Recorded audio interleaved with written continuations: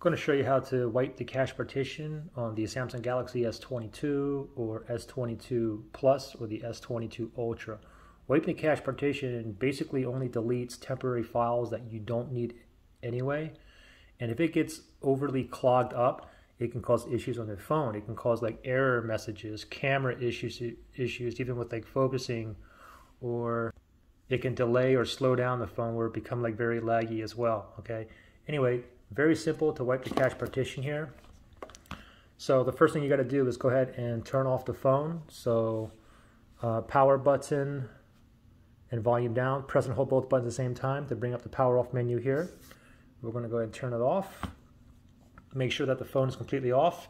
I just felt it vibrate. Now it's totally off. Now what we want to do is press and hold the volume up button. Don't let go. Volume up, hold it.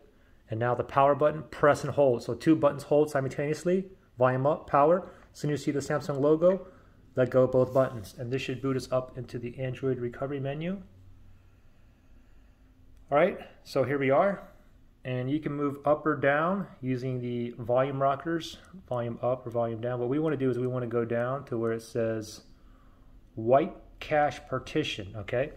Now in order to select it, you just press on the power button. So it's highlighted, wipe cache partition, tap on the power button here to select it.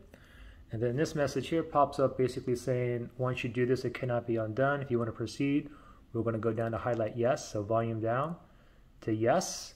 And now we're going to tap on the power button right here to select it and watch how fast this is. Right there. Okay, cache wipe complete.